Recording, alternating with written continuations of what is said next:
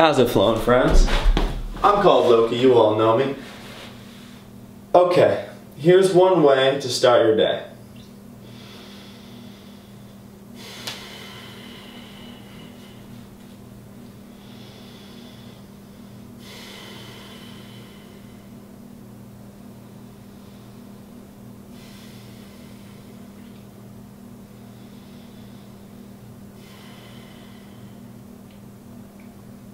Okay, why would you start your day like that? Well, your brain needs oxygen to work. Hey, breathing is a pretty good thing.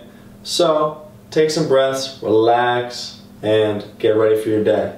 Okay, today is bound to be a day where we can think about an area of our lives where we have been wanting to learn something new an area of study or an interest or hobby that we've been wanting to start. Now we can really look at it and think about what we need to do to start manifesting something.